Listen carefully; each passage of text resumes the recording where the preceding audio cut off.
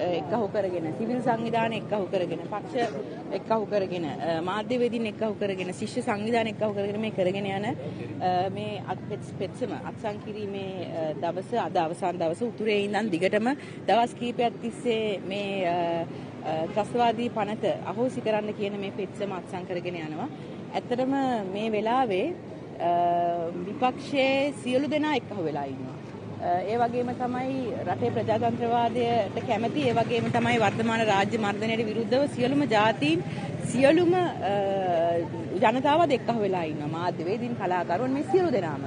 එතකොට අද මුළු රටක් එක පැත්තක ඉඳන් කියද්දි ත්‍රස්තවාදී පනත අහෝසි කරන්න ඕන කියලා රටේ ජනාධිපතිතුමා ඇතුළු කීප දෙනෙක් විතරක්. ඒ කියන්නේ පාර්ලිමේන්තුවේ සමහරක් උදවියත් කියනවා මේක අහෝසි කරන්න ඕන කියලා. එහෙම තියෙද්දි ජනාධිපතිතුමා ඇතුළු කීප දෙනෙක් පමණක් මේ ත්‍රස්තවාදී පනත උපයෝගී කරගෙන වර්තමානයේ මේ රට අද මේ තත්ත්වයට පත් කරන්න ඒ කියන්නේ රටේ තිබ්බ තත්ත්වය ඒ කියන්නේ අපි හිටියේ පහුගිය මාස 3-4 වෙනකොට කිසිම දිශානිතයක් නැතුව ඊට පස්සේ යම්තා දුරකට ඒ දිශානිතය රටේ මිනිසුන්ට ඕන විදිහට හදාගන්න හැකි වෙන්නේ. දේශපාලඥයන්ගෙන් ප්‍රශ්න කරලා කෙලින් ප්‍රශ්න අහලා අභියෝග කරන තත්ත්වයට පත් කරගත්තේ මේ අරගල කරුවන්ගේ අරගලය නිසා.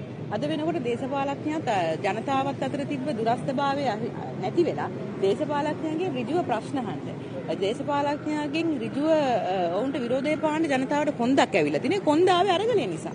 ඉතින් අරගලයෙන් පස්සේ අද රට යම්කිසි දිශානිතයකට ඇවිල්ලා තියෙනවා. දේශපාලනය ගැන කතා නොකරපු, දේශපාලනය ගැන අවබෝධයක් තිබ්බේ නැති, උවමනාවක් තිබ්බේ නැති තරුණ තරුණියන් පවා අද රටේ මේ දේශපාලනය ගැන කතා කරනවා. රටේ තත්ත්වයේ සිස්ටම් චේන්ජ් එකක් කියලා මේ සියලු දේ උනේ අරගලය නිසා. ඒතකොට මේ අරගලයක් නිසා අද රටේ ජනතාව හිටපු අර ඒ පොඩි පෙට්ටියෙන් එළියට ඇවිල්ලා රට දිහා ලෝකෙ දිහා බලන්න බලන තත්ත්වයට පත් වෙලා තියෙන අවස්ථාවක අවුරුදු ගානකට කලින් පිටිබ්බ යුද්ධයක් පදනම් කරගෙන හදපු මේ ත්‍රස්තවාදී පනත තවමත් මේ අරගල කරුවන් විනාශ කිරීම සඳහා ඔවුන්ව මර්ධනය කිරීම සඳහා වුණ බය කිරීම සඳහා යොදා ගැනීම ඉතාමත් පිළිකුල් සහගතයි. මේ අරගලයට සම්බන්ධ වෙච්ච කිසිම තරුණ තරුණියෙක් ආයුධයක් අතට අරගෙන අරගලයට සම්බන්ධ වුණේ නැහැ. අරගලේ පටන් ගත්තෙම ආදරේ අරගලය කියලා. ඒක අපි මාස ගාණක් තිස්සේ දින 100කට වැඩිය මේ වැඩේ කරගෙන ගියා. පැහැදිලිව අපිට පැහැදිලි අරමුණක් තිබ්බා. ඒ අරමුණු අපි ජය යම්තාක් දුරකට හරි ජයග්‍රහණය කරලා තියෙනවා. අද රටේ අපිට මේ මොන දේ හරි අරගලෙන් පස්සේ රනිල් රාජපක්ෂ ආවට පස්සේ නැවතත් රාජපක්ෂවරු නැගිට්ටා තමයි. හැබැයි රටේ මිනිස්සු අද වෙනස් විදිහට හිතන ඒක තමයි අපි ලබාගත ලොකුම ජයග්‍රහණය. ඉස්සර අපිට අපි ඉක්මනටම අපේ රටේ මිනිසුන්ව මේ යම් කිසි ಜಾති ભેදයක් ගෙනල්ලා ආගම් ભેදයක් ගෙනල්ලා යම් යම් ප්‍රශ්න ගෙනල්ලා යම් යම් බීතිකා ගෙනල්ලා බය කරලා මිනිසුන්ව කෑලි කෑලි වලට කඩන්න පුළුවන්කම තිබ්බ දේශපාලඥයන්ගේ එක වචනයක්වත් අපි විශ්වාස කරන්නේ නැති අපේ රටේ මිනිස්සු පත් වෙලා තියෙනවා. ඒක අපි ලබාගත ලොකුම ජයග්‍රහණය.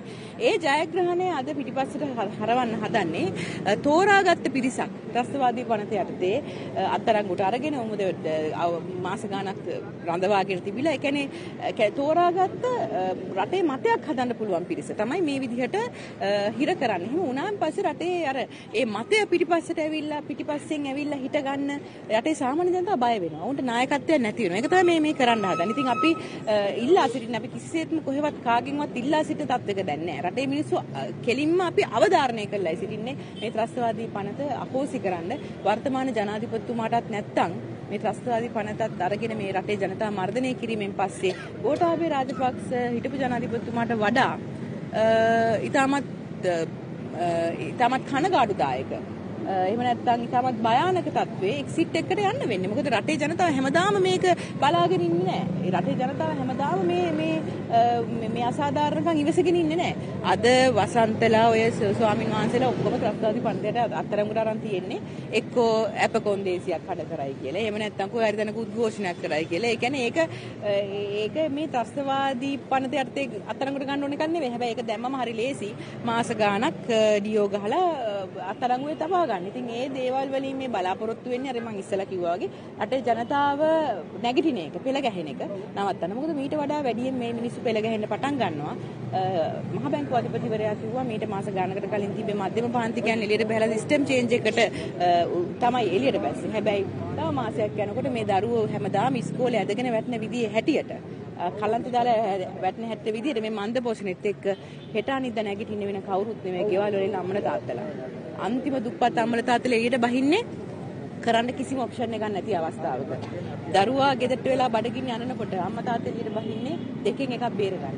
ඒ වුණාන් පස්සේ ඔය කාටවත් මං හිතන්නේ මොන ත්‍රස්තවාදී පනත දාලවත් මිනිස්සුන් අත්අඩංගුවට ගාලා මේක ඉවරයක් කරන්න පුළුවන් වෙන්නේ. Thank you.